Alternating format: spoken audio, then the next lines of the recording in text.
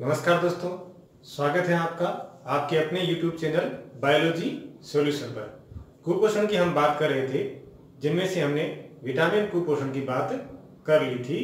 आज हम बात करने जा रहे हैं प्रोटीन कुपोषण की, जिनमें से हम बात करेंगे प्रोटीन कुपोषण किन कारणों से होता है और इसके क्या प्रभाव होते हैं।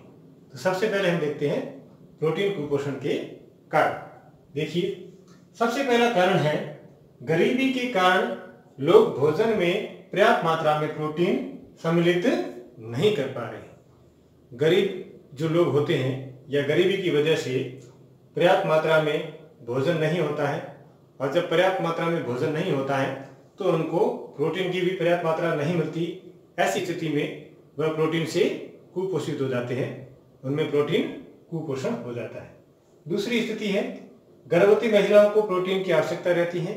यदि गर्भावस्था के दौरान माता पर्याप्त प्रोटीन से डाइट नहीं लेती है तो माता के साथ साथ उसमें पल रहे गर्भ को भी प्रोटीन कुपोषण हो जाता है। इसलिए गर्भावस्था में माता को प्रोटीन से रिच डाइट लेनी चाहिए। नेक्स्ट है, किशोरावस्था में शरीर के विकास के लिए। जैसा कि आप जानते हैं, किशोरावस्था शारीरिक व मानसिक दोनों के विकास की उम्र कही जाती है। इन दिनों शरीर अपने विकास की ओर अग्रसर होता है और पोषण की बहुत ही ज़्यादा आवश्यकता होती है।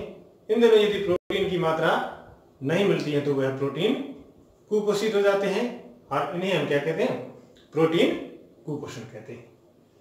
प्रोटीन कुपोषण के क्या प्रभाव होते हैं? प्रोटीन कुपोषण से जो रोग होते हैं, वो दो रोग हैं।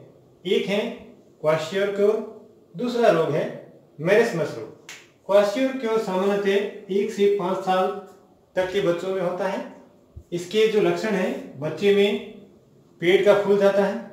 आपने देखा होगा कई छोटे बच्चे होते हैं जिनका पेट बहुत बड़ा होता है, लेकिन शरीर ऊपर और नीचे वाला शरीर का जो हिस्सा है वो दुबला होता है। उनको क्वेश्चन रोग होता है।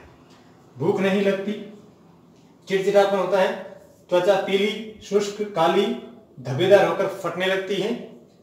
और दूसरा जो रोग है, वो है मेरेस्मस रोग। मेरेस्मस रोग क्या है? यह क्वेश्चर और मेरेस्मस रोग में सामान्यतः अंतर यही है कि क्वेश्चर रोग है, वो केवल प्रोटीन की कमी की वजह से होता है, जबकि मेरेस्मस में प्रोटीन के साथ साथ दूसरे पोषक तत्वों की कमी की वजह से भी होता है। तो क्वेश्चर मेरेस्मस से ज़्यादा खतरनाक है। ये सामान्यतः एक साल में होता है। बच्चों में होता है, शरीर सूखकर दुर्बल हो जाता है और आँखें कांतिहीन हो जाती है। सामान्यतः इन दोनों रोगों का उपचार यही है कि बच्चों को प्रोटीन युक्त या प्रोटीन रिच डाइट देनी चाहिए या प्रोटीन युक्त भोजन बच्चों को करवाना चाहिए ताकि ये इन रोगों से या प्रोटीन कुपोषण से करते हैं खनिज कुपोषण की। शरीर संचालन के लिए खनिज लवण महत्वपूर्ण होते हैं। कई फिजियोलॉजिकल एक्टिविटीज़ के लिए खनिज लवण, यानी कि मिनरल्स जिम्मेदार होते हैं। कुछ यहाँ पर इस टेबल में दर्शाए गए हैं। एक एक करके हम इनके बारे में पढ़ेंगे कि इनके प्रमुख स्रोत कौन से हैं और इनके मुख्य कार्य क्या है। सबसे पहले हम बात करते हैं सोडियम खनिज लवण की, जिसका मुख्य स्रोत है सामान्य नमक, मछली, मांस, अंडे और दूध, जो हम सामान्य नमक खाते हैं उसमें सोडियम की मात्रा पाई जाती है। जैसा कि आप जानते हैं, सामान्य नमक का सामान्य सूत्र होता है NaCl तो यहाँ पर आप देखिए NaCl के हिसाब से इसमें क्या पाया जा रहा है? सोडियम पाया जा रहा है। वह मछली में मांस व अंडों में व दूध में भी सोडियम की मात्रा पाई जाती है। सोडियम का प्रमुख कार्य क्या होता है? सोडियम का प्रमुख कार्य होता है मांसपेशी संकुचन तंत्री की आवेग संचरण शरीर विद्युत अपघटन संतुलन करना। आप जब आगे हायर क्लासेस में जाएँगे और बायोलॉजी के बारे में पढ़ेंगे तो इसमें आप देखेंगे कि जो कोशिका के अंदर कोई चीज़ें आ रही है, अंदर की तरफ़ बाहर जा रही है पार्ग में हो रही है, कोशिका अर्ध पार्ग में झिली होती है तो उसमें सोडियम किस प्रकार अपनी महत्वपूर्ण भूमिका निभाता है? तो इसका यहाँ पर यह प्रमुख कार्य होता है। दूसरा जो हमारे लिए खनिज लवण है वो है पोटेशियम। पोटेशियम सभी खाद्य पदार्थों में लगभग पाया जाता है और इसका भी लगभग वही कार्य रहता है जो कि सोडियम का रहता है। मांसपेशी संकुचन, तंत्रिका, आवेग संचरण शरीर विद्युत अपघटन, संतुलन और कोशिकीय क्रियाओं के बारे में यह प्रमुख कार्य करता है। उसके बाद है कैल्शियम। कैल्शियम सामान्य दूध, अंडे व हरी सब्जियों में पाया जाता है। विटामिन डी के साथ हड्डियाँ एवं दांतों को मजबूती प्रदान करता है। आपको याद होगा, जब हम विटामिन कुपोषण के बारे में पढ़ रहे थे, तब हमने विटामिन डी के बारे में पढ़ा था, तब उसका हमने जो नाम दिया था, वो था कैल्सीफेरॉल। क्या नाम दिया था?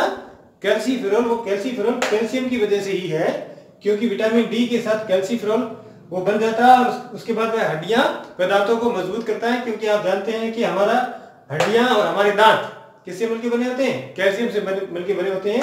जब हम कैल्शियम को आहार के रूप में लेते हैं तो निश्चित तौर पर ये हमारी हड्डियों और दांतों को मज़बूत करता है। आगे बात करते हैं फास्फोरस के बारे में। फास्फोरस के प्रमुख स्रोत हैं दूध, हरी सब्ज़ियाँ, बाजरा, रागी, सूखे मेवे यकृत व वृक कैल्शियम के साथ मिलकर के हड्डियों व दांतों को मज़बूत करता है। फास्फोरस की क्या खासियत है? ये कैल्शियम के साथ मिलकर के हमारे हड्डियों व दांतों को मज़बूत करता है, कैल्शियम के साथ यह अभिक्रिया कर लेता है। उसके बाद अगली जो खनिज लवण है, वह है लो तत्व। यह अंडे, मांस, रक्त, बाजरा, रागी, दही, सब्ज़ियाँ, गाजर व गुड़ में पाया जाता है। इसका मुख्य काम होता है रुधिर में हीमोग्लोबिन का निर्माण करना। रुधिर में हीमोग्लोबिन का निर्माण करना जानते हैं, रुधिर में एक विशेष प्रकार की प्रोटीन पाई जाती है, जिसको हीमोग्लोबिन कहते हैं। उस हीमोग्लोबिन का निर्माण करने के लिए लोह तत्व बहुत ही आवश्यक खनिज लवण है। अगला है आयोडीन। आयोडीन नमक में समुद्री भोजन, हरे पत्ते वाली सब्ज़ियाँ, लवण व जलीय मछली व जामुन में पाया जाता है। आयोडीन का क्या कार्य होता है प्रमुख? थायरेक्सिन हार्मोन का निर्माण करना। हमारे शरीर में थायरोक्सिन हार्मोन का निर्माण होता है और थायरोक्सिन हार्मोन की यदि कमी हो जाती है तो आप जानते हैं बच्चों में गलगंड या बड़ों में भी गलगंड, जिसे गोइटर रोग कहते हैं, हो जाता है। तो आयोडीन थायरोक्सिन हार्मोन का निर्माण करता है। आपने देखा होगा, हम आयोडीन की मात्रा साधारण नमक के साथ लेते हैं। आप जब देखते होंगे कि नमक आयोडीन युक्त टाटा साल्ट या आयोडीन दूसरा साल्ट, जो भी हो, उसमें किसकी मात्रा होती है?